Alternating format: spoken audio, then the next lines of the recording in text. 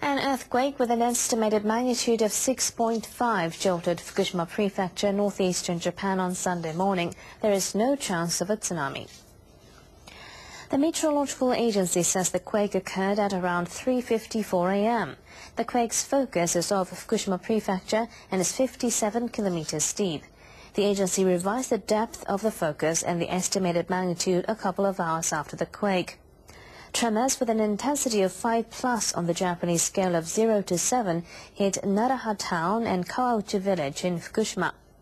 The Nuclear Industrial Safety Agency says there have been no reports of abnormalities at the Fukushima Daiichi and Daini nuclear power plants.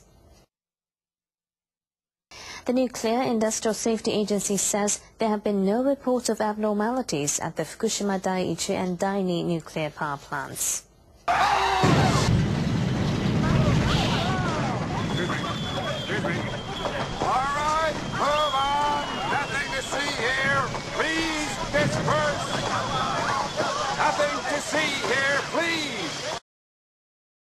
Torrential rain in northern Japan has caused rivers to overflow and increase the danger of landslides. About 210,000 people have been issued an order or advisory to evacuate. Nearly 70,000 households in Niigata and Fukushima prefectures have been ordered or advised to evacuate as of 8 p.m. local time on Saturday. I just escaped by car because the water levels rose quickly. I have nothing to say. All my electric appliances and family outdoor sank underwater. So far, two people have been found dead in Niigata and a total of four people are missing from the two prefectures. Since Wednesday, up to 680 millimeters of rain has been recorded in some parts of Fukushima.